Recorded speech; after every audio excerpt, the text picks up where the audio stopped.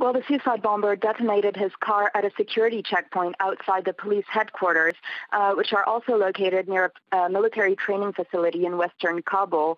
It set, up a, it set off a huge explosion uh, at around 9 a.m. this morning that could be heard throughout various surrounding neighborhoods. A witness on the scene tells me that debris and pieces of broken glass litter the streets as far as hundreds of meters away from where the car bomb was set off, and the facade of a tall building has been completely ripped away Um, a man who lives nearby told me that all the windows from his house are shattered. His children are scared. He says they can't stop crying, and um, people are extremely uh, worried, of course. Uh, the death toll is still uncertain at this, at this point, but authorities are aware of at least 95 injured.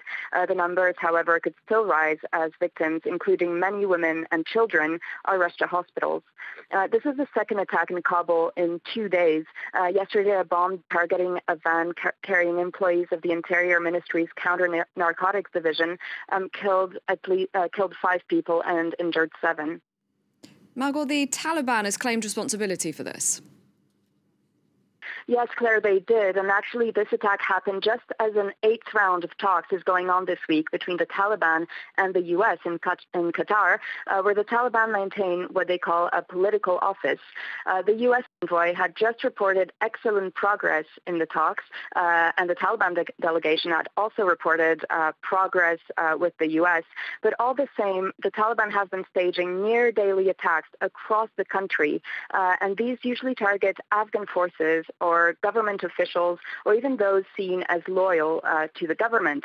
Uh, they're eager to show that despite their willingness to negotiate with the United States, they remain a staunch enemy of the government uh, with whom they still refuse to speak officially. And they, can, they clearly have the upper hand in some respects. Uh, today, the Taliban actually control uh, or influence half of Afghanistan, and they're at their strongest since 2001 uh, when the U.S.-led invasion toppled their government.